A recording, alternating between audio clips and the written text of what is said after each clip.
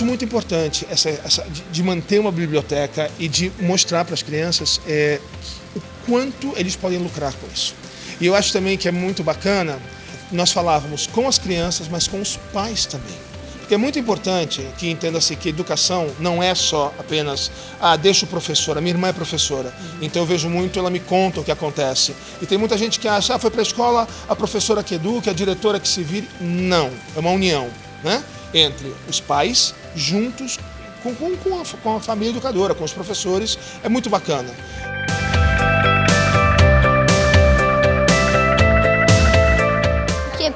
para aprender a escrever, a, a, escrita, né? Porque daí as pessoas vão saber escrever melhor. Porque ajuda a gente a conhecer mais. Conhecimento nunca ocupa espaço.